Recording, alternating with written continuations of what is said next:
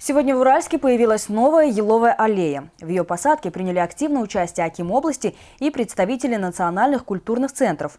Мероприятие приурочили ко Дню единства народа Казахстана.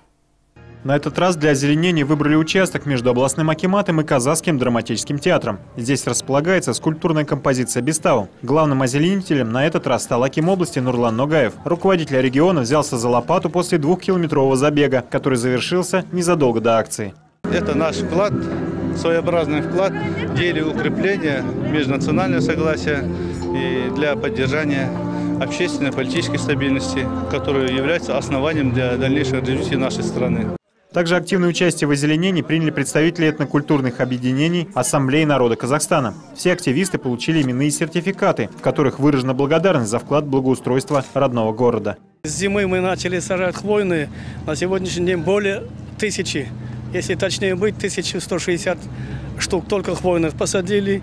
И вот э, на субботниках Э, с весны начиная, в апреле месяце мы 7 тысяч штук лиственных деревьев посадили. Подобные акции по высадке деревьев станут традиционными. Роман Копняев, Айбулат Джигапар, Александр Грабрев, ТДК-42.